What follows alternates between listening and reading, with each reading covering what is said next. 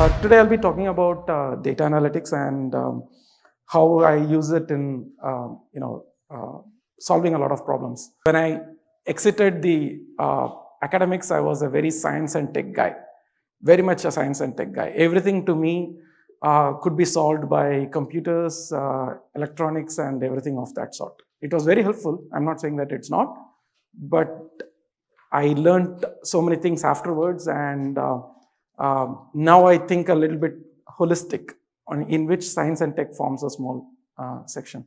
So, anyways, uh, most of the, my work will be covered within urban development, water resources, transport, and environment. Uh, we are actually a research to policy uh, uh, tank, you can say.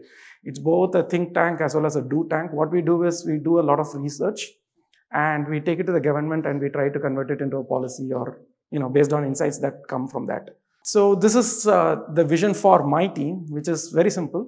Governments, uh, you know, uh, and people make planning and governance decisions based on, you know, a lot of data and everything. So evidence-based planning and management. These are the 17 sustainable development goals. For our economy, when we talk about development, the usual, um, you know, measure is GDP growth, right? Like, so GDP growth is normally the uh, measure that we use that, you know, 5%, 6% growth, etc., etc. A sustainable development goal merges that economic development with a lot of other human related development that is critical, right? Like, so it is not about just money generation, but it is about how, as a person, how you have been living and your standards of living and everything around that, right? Like, so we cannot boast of 8 percentage growth while, you know, we have so many people who are deprived of you know, basic uh, amenities and uh, access to utilities and services. So uh, from that perspective, there are these 17 goals. The first one is on, you know, no poverty. Second is zero hunger. Third is good health and well-being. Fourth is uh, quality education. Fifth is gender equality. Some way fifth and tenth will be somewhat related uh, because, you know, they work on inequalities, reduced inequalities. sixth is clean water. Um, seventh is uh, uh, affordable and clean energy. Eighth is uh, decent work and economic growth. Ninth is industry innovation and infrastructure. tenth, as I mentioned, inequalities. so, and reducing it, of course. Eleventh is sustainable cities and communities. Twelfth is responsible consumption and production. Thirteenth is climate action. Fourteenth is life below water. Fifteenth is life on land. I mean, these are not just us, but beyond human. Uh, 16th is peace, justice, and strong institutions, which personally is the thing that I've been, I mean, particularly the uh, institutions part and governance angle is what I have been uh, interested of recently in the last few years. 17th is, you know, partnerships for the goals.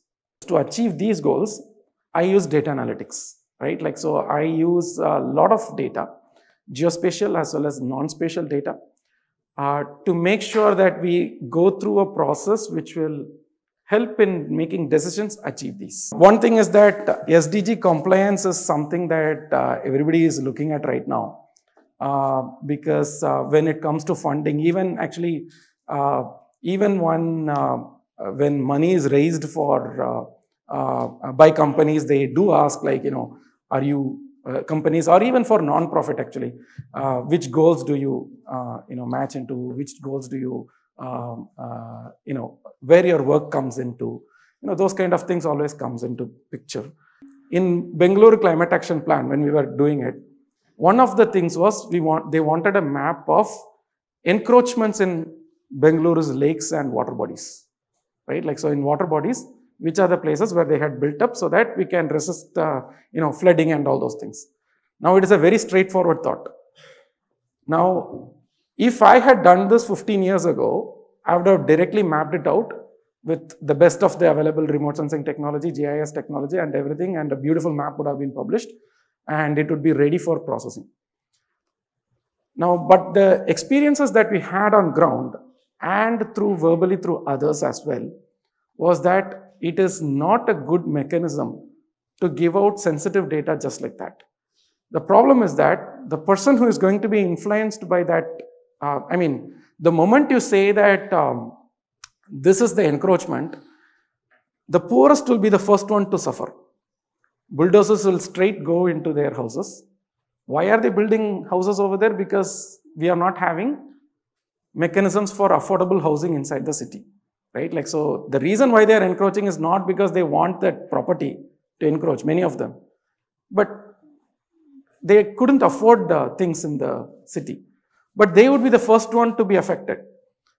Uh, one case example, actually in Chennai, uh, they did this uh, encroachment clearance drive.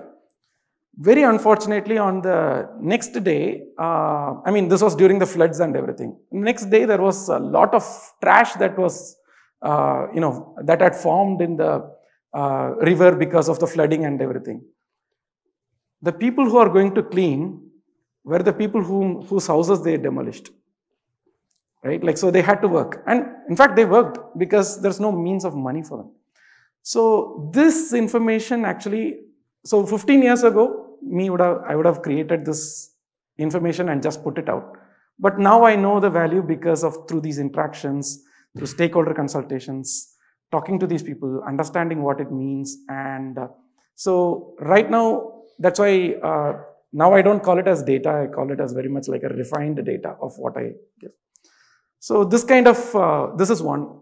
On the other hand, there will be public uh, request to do something but then I wear the science hat through my, again, through my learning process in the science and technology side and change my decisions. So data opening cannot uh, happen on a single night because many of us are not ready to it. So what we talk about is usually stages of it. So stage one, stage two, stage three type of a thing. And uh, as the sensitivity, I mean, the first thing is that the least sensitive data has to be opened in the first iteration, followed by a little bit of, uh, you know, a slightly complex one that requires a little bit of reading and everything. And the third one is that once you have matured out of that data set, then you would be ready to, you know, digest this information. Otherwise, what we have, I mean, this is coming from a very much a practical learning for us. Uh, the problem is that uh, the, on day one, when something gets opened, uh, the first one to jump is usually journalists. And the moment the journalists jump in, it's good actually. It's actually good. It's required. Uh, but the moment the journalists jump in, the way we, they jump in is that they did not understand the entire process. They didn't go through the same thing. So what happens is that the first thing they see is that, hey, we found a problem with your government. And we'll put it out. I mean, we'll say that oh, drains are this way, that is that way, etc., etc. Now, this creates a negative reflection from reaction from the government offices from giving out further data. So, it stops the, I mean, this is not the most uh, ideal process, but this is how pragmatically over time period you can open up data. I'll uh, talk about this one particular city in Punjab where I'm actually working with. Um, so, the government, uh, the IAS officer quickly wanted all those data sets to be created and, uh, you know, a GIS cell to be created and everything. And I said like, uh, you know, your process is uh, uh, very short and it is not, I mean, your, your government is not ready for this. Uh, you are ready for it at an individual level. The, that IAS officer is ready for, at an individual level, but the government setup is not ready for that at a, you know, at a governance level. So what happens is that that IAS officer got transferred and the entire thing got derailed. It's nowhere now, right now. So uh, what is the mechanism to, uh, you know, because see, everyone has a, like I said, everyone has a learning curve. Government officers have a learning curve. a good number of them wouldn't have agreed to your policies. It's good. I mean, it's not bad for them to disagree to you. But if they want you to agree to you, you have to create that platform over time. So that is why we, right now, I mean, we want it, but we want it in a staggered manner so that they are ready for it. So this is the very simplistic representation of the work I do. So data, inf information, converted into insights and interpretations so that good decisions come out of it. Now there are so many limitations with this. Uh, that is what I focus on the end of it. So a typical process for us will be like, you know, you produce a lot of these maps, methodologies and everything around that. You take it to the government officials, sit with them, uh, create plans and, uh, you know, make it like a uh, I mean, teach them how to do it, and uh, so many things around it. So this is uh, this is actually for a master plan for uh, a small satellite town next to Bengaluru. Now, when I talk about this data, how am I using it? These are the three sectors in which we are applying. Now, these are the sectors where a lot of science and technology help is actually required. One is monitoring, second is management, and third is planning.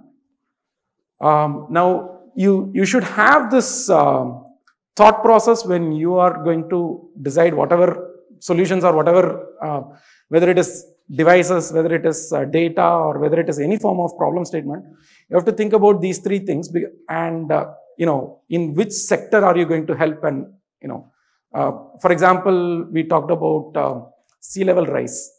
We talked about um, um, uh, flooding. There is a monitoring angle to it, there is a management angle to it, there is a planning angle to it. So in these three sectors only, I tend to focus on with uh, the work. One of the best ways, uh, I mean, best civilian application of maps was for the cholera epidemic in London. Incidentally, the creator is John Snow. His map shows the areas where uh, cholera, you know, number of cholera cases per house and everything. So you can see that, uh, you know, this the this is old style map, right? Okay, these are like more like coins stacked. Means uh, 20 people or something like that in that houses. So what he did was he, you know, based on the mapping, he understood like, you know, this particular pump in the middle could be the cause for the outbreak. And he worked on it, right? Like, so this is what exactly I do with maps. So I provide these uh, maps to create that insight that this pump was the problem. And if you close this pump, then cholera epidemic could be stopped, right? Like, so that was the way it worked. So it is the same way I use it. So I use a lot of things, uh, tools. So personally, I use GIS quite a lot. GIS is Geographic Information System. That is information, but with locational uh, information. We talk about uh, Mumbai, so which means that um, you know more than a uh, 1.6 crore people live within this corporation limit. That is where question is answered. No, it is not just that 1.6 crore people are living, but it's saying where you're living, right? Like so exactly. So this is a map of Bengaluru showing you know job locations actually. How many people are working in that particular location? Each larger the circle, the bigger the you know, uh, office. And uh, with respect to metro lines, now you can imagine what the problem I am solving. how to make jobs accessible to metro. So the point uh, I was making about uh, you know how how to use public transport, right? Like so, now I know when an investment has come, how many people will be using it for commute, and how to strengthen it right? Like, so this is the kind of things that I uh, work on. So another is remote sensing, which is uh, satellite images, a lot of satellite images. India is a data deficit country, very clearly put. One thing is that it might not have data about something, or it might have data about it, but it is a very poor quality data. Um, and sometimes it's sometimes it's just pure uh, uh, crime about data, like they manipulated data. So this is what you have. So one of the small ways to bypass it is to use these kind of satellite information, etc., so that you can understand a little bit uh, beyond it. So India is a data deficit country. In that environment is where we are operating.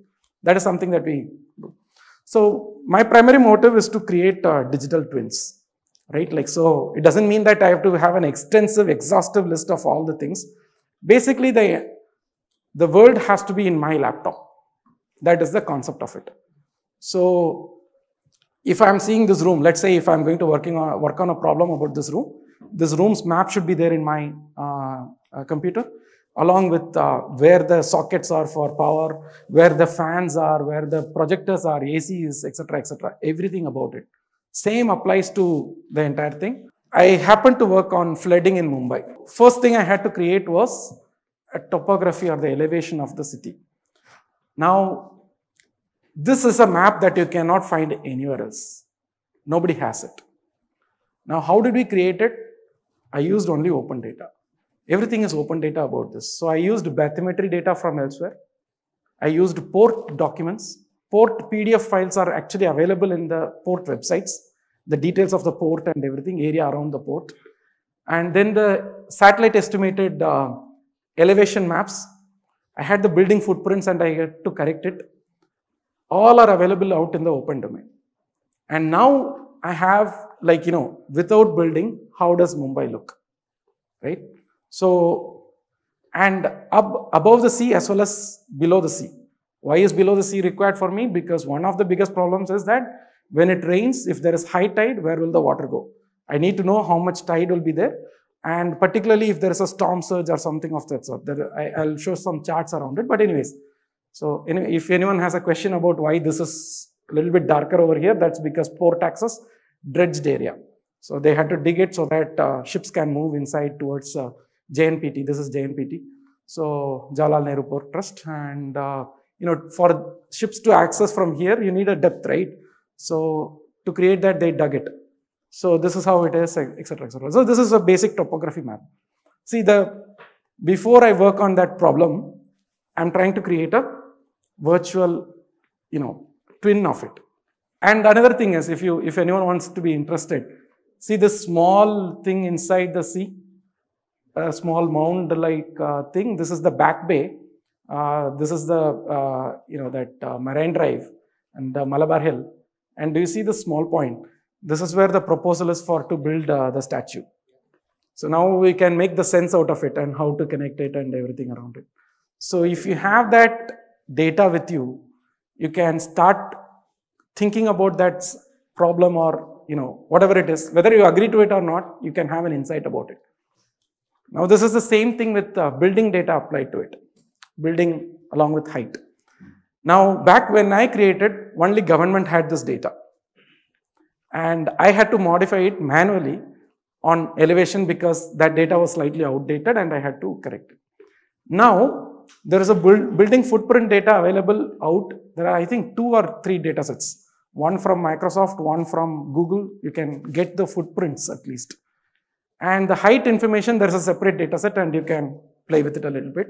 It's okay. I mean, if you're going to run flood model, after two floors, you don't have to worry a little bit, right? Like, so you just need to know where the buildings are, which can block everything. So imagine I have this data. I have the computer. I know flow dynamics uh, related equations. Now what can I do? Simulate flood for different, different scenarios. So without us facing the flood at the time of flood, I can simulate it, I can understand where it is. And I'll also show some samples. If I change something to the topography or the drains, what will happen to it? Even before implementing on the ground, I can have those uh, insights.